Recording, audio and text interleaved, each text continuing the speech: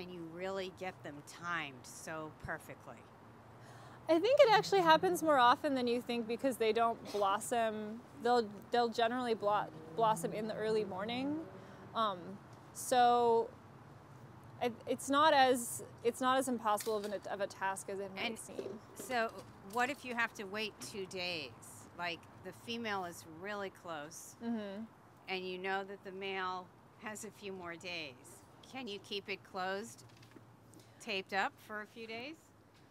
Hmm, that's an interesting question. Because I personally have never been that lucky with them. s- Their timing. yeah. I was wondering if you can collect the male pollen and put it in the refrigerator till you're ready to use it, or Are how saying long will the male that, pollen be David? viable? I was like, that's an, I, I was like, oh.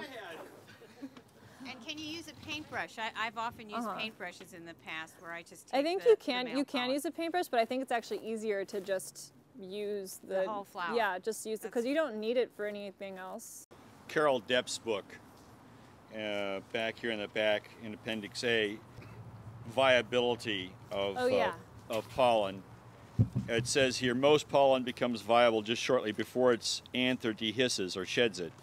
In general, it is normally maximally fertile and visible, viable right after it is shed. Some pollen continues to be viable for several days. Other pollen is dead within a few hours. Yeah, so they're short-lived. So maybe not the refrigeration bit. Yeah.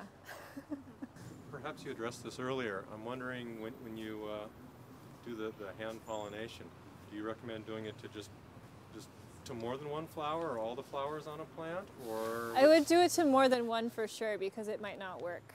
okay. Um, would you want to do every flower that that's that you're keeping on a plant?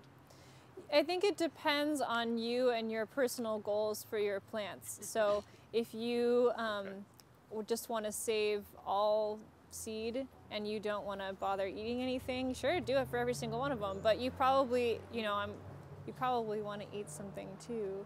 Um, but I think, but in that case though, let's say you get, you know, you make 10 different pollinations and they all work, you could probably sacrifice one of them. So I'd say do it as often as you can because, you know, this is a new process and you might mess up a few times and, um, or it might not work. So, and practice makes perfect, right? So I don't think you should say, oh, well, I, I did it once and there I'm good to go because it might not work out so well Okay. this can actually this actually works you know 80 90% of the time unless you're doing melons i just don't want to give anyone false hope um, that apparently um, melons actually reject pollination like 20 you only get like the 20% success rate How long do we keep the tape on the female flower once it's been pollinated? forever just leave it on there because it'll actually um, it'll fall off as soon as the fruit gets um, mature or close to mature anyway so that's why it's important to mark somewhere else on the stem